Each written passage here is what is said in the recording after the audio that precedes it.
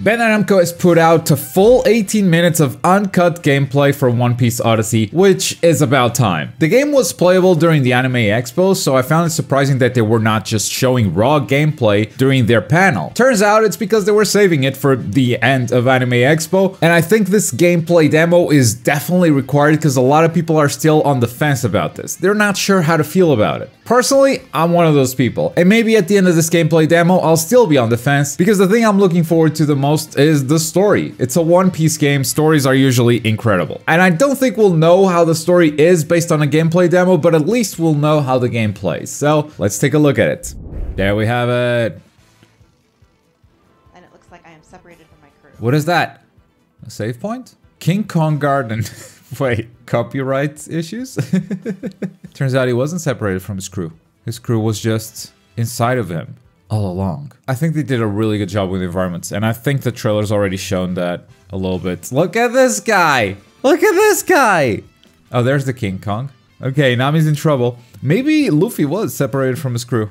It's like getting them back together. This is the mission where uh, you get Nami back. Let's check out what you can do in these menus. I love when people do this in demos. Like, it really gives folks a chance to see what to expect from the final game. Uh, sometimes they put more than they intended to in the menus, so checking out the menus. That's a lot of stats, that's a lot of resistances. So yeah, sometimes anime games, uh, when they go the JRPG route, they kind of do sort of a lighter JRPG, but this seems to be going all out. Yes, Gum Gum Rocket, Luffy's unique ability to traverse around. Uh, there it is.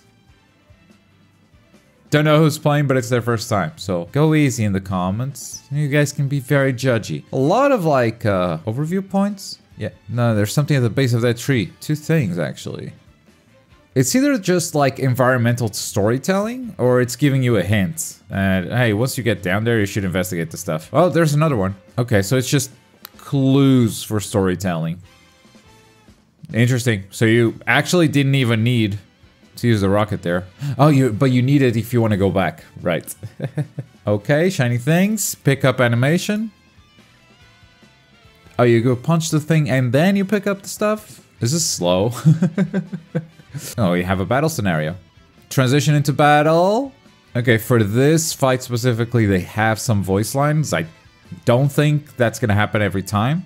Uh, again, the battle transition is something you want to be as snappy as possible, and uh, this wasn't bad. This wasn't bad at all. You can do skill, items, and there's tactics on triangle.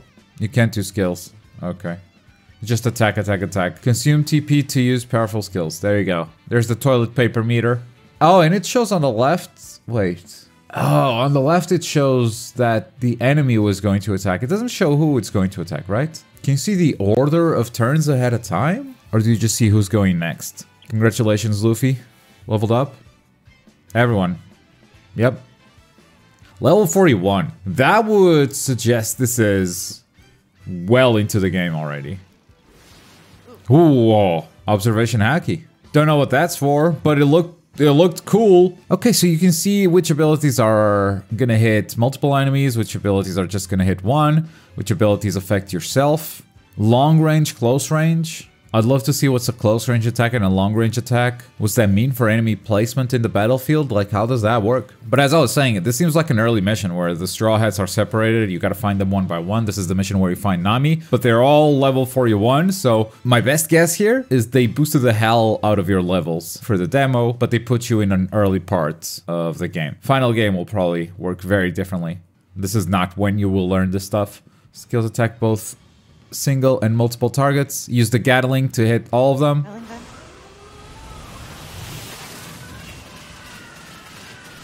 Cool animation.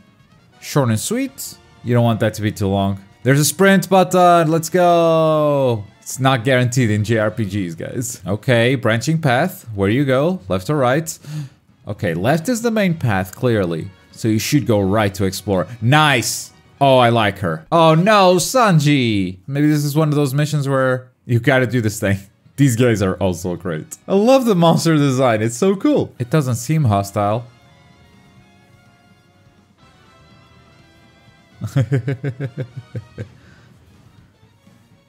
oh no. What's up, please? Not the best cutscene I've seen, uh, but the high quality cutscenes are usually saved. Oh, Oh, he's paralyzed, so like he's out of it. So like as a story mission, uh, they disabled Usopp basically for this. Oh, and he's far away. Okay, so this is what a dramatic scene is.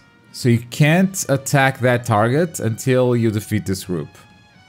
Boom. Oh no, Usopp's paralyzed and just kicking his ass. Bleed or faint are two, uh, are two status effects.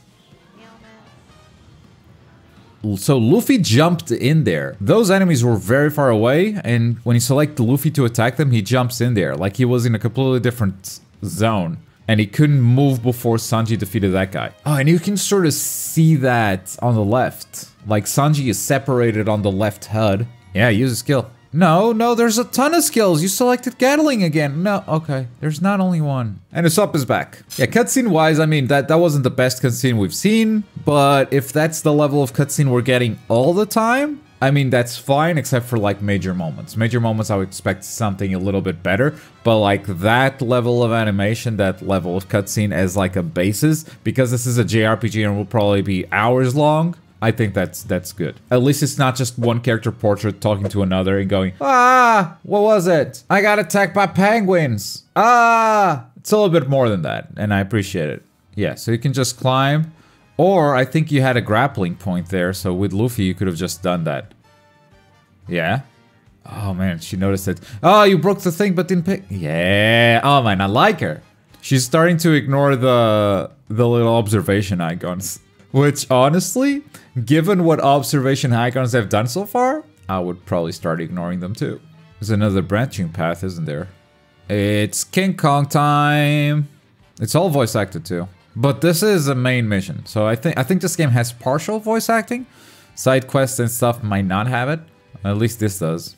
It's a pincer attack. Now, how does this work in the combat uh, scene? Yeah, okay, so Robin is separated. Oh, everyone is separated. There are different groups. Look at the left side of the screen. You see Robin is up against one enemy. Then you see Usopp and Sanji against another enemy. I mean, Robin is up against two enemies. So ideally, Sanji defeats this guy in one hit. And then you send uh, Usopp over to Robin, maybe, to help her out. Because Luffy is probably fine with a a multi-hitting ability. I don't know what Robin has, maybe she's fine too, but yeah, maybe that's what you would do in a harder encounter. Yeah, just get rid of both of them. You got the Gatling, or maybe something else, uh, or just attack, I guess. Especially if like the enemies that are attacking you have uh, an advantage uh, towards your type, then yeah, you gotta take care of business fast uh, with the other characters so you can move on and help. All right, Robin attacks, one hit kill. Why was that one blue?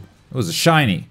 Should have caught it. Oh, and Usopp attacked Luffy's directly because he uh, has a ranged attack. So there you go. That's how that works. Some attacks are melee, some attacks are ranged. Sometimes you need to be in the same area as the enemies. But if it's a ranged attack, you can just support them from far away. That's interesting. I like the layers of strategy that we have. He's already level 50? They got four levels in one go? Okay, XP definitely not final in this build. Del Kong. Oh, that was a cut. That's a Zoro. Yeah, yay. Oh, just Brook left. Uh, monkey boss fight? I'd be disappointed if we walked all this way for the King Kong, for Del Kong, right to die in a cutscene. You can see the boss fight when you play it, or if you hear an Anime Expo, you can fight him yourself. What? No, she's not gonna show it? No! You can see the boss fight if you're at Anime Expo. Just show the boss fight! Finally, we got some uncut gameplay, and now we have a better idea of what this game looks like. The battle system? There's some interesting stuff there. I really like the different almost battle arenas that can happen within the same battle. Don't really remember another game that did something like this, but uh, I'm I'm interested. But anyway, that's One Piece Odyssey gameplay at last. Uh, you guys know my opinion. I would love to know what you guys thought of it as well in the comments down below. And as always, thank you very much for watching. My name is Globku, and I'll see you next time. Boy!